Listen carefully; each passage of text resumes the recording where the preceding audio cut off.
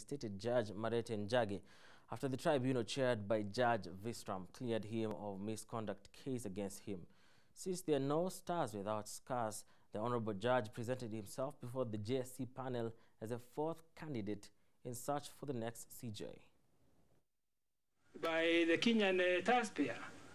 Seven months ago, a tribunal was launched to investigate Judge Martin Njagi. The tribunal, led by Judge al nasher Visram, dismissed misconduct allegations raised against him by Kenya Tea Growers Association.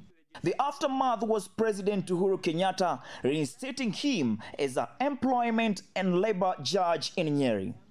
But since there are no stars without scars, Judge Marete presented himself as the fourth candidate before the Judicial Service Commission's panel today.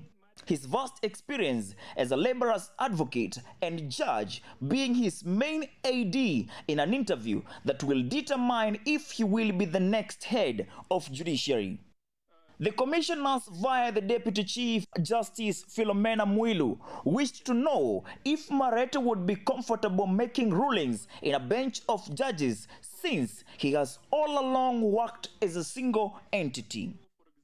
At least a minimum of five. Okay. Yes. Is that an easy thing to do? Is is is sitting in five easy? It is not. Why is it Uh, not particularly easy? for, for the likes of us who have not uh, even uh, had uh, an occasion to sit as two or three. An issue that appeared to be an elephant in the building, considering that the Supreme Court conducts its sessions as a bench. Furthermore, Commissioner Judge Warsame seeks to know if Justice Marete D. K. Njagi is mentally unstable since his disability card indicates so.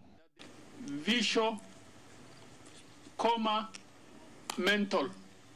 Is that a reflection of you? Uh, I